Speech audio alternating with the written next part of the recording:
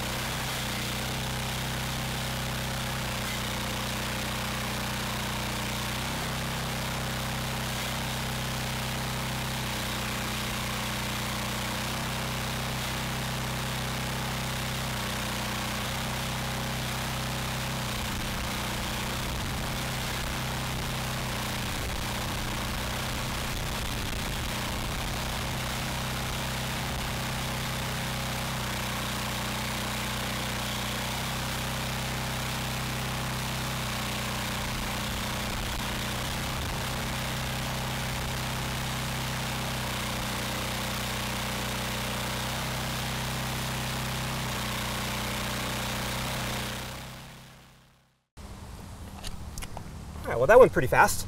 Yeah, it did. Took uh, just a hair under 20 minutes to fill this tote.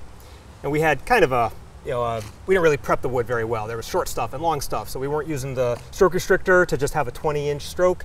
Um, we took the four way blade off a whole bunch of times to split some of the bigger crotchy rounds. Uh, it was just kind of a realistic little mini splitting session to see how fast this thing would go.